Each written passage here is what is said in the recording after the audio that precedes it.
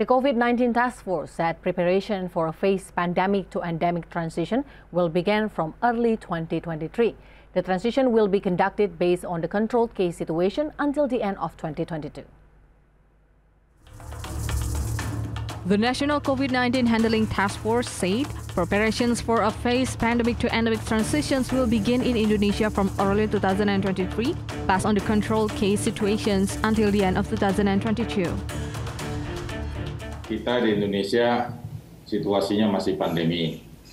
walaupun seluruh masyarakat sebenarnya sudah mulai bosan dengan virus ya, tapi karena kenyataannya infeksi masih terus berlangsung, transmisi di masyarakat masih berjalan, maka status pandemi ini masih terus diterapkan.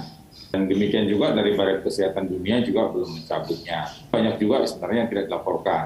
Mereka yang flu, mereka yang batuk pilek tapi tidak critical ill, mereka isoman di rumah masing-masing dan kita ketahui kalau imunitas baik ini bisa recovery sendiri.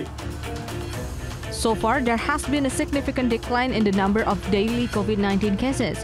Based on the report of the COVID-19 Handling Task Force, as of September 7, 2022, the number of active cases reached around 38,000, or an average of around 3,000 people per day.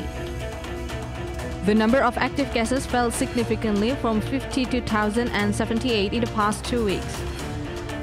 The task force reminded the public to be aware of cough and cold that are currently occurring in the community. In addition, the government still needs to meet the COVID-19 vaccination target. IDX Channel reports.